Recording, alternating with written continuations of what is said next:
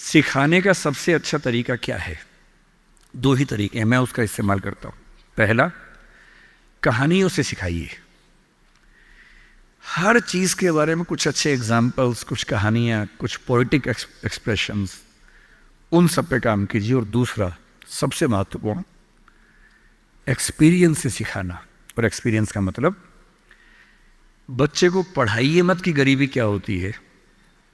कभी कभी गरीबी के बारे में एक फ़िल्म दिखा दीजिए और हो सके तो बच्चों की उंगली पकड़ के एक गरीब इलाके में ले जाके दिखा दीजिए।